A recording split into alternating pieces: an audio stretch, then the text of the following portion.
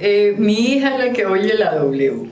Ella es la que va oyendo la W, entonces me dijo, mami, hay un, un concurso que van a hacer, que mire, que no sé qué más, que para las arrugas le escribo. Yo le dije, pues claro, hija.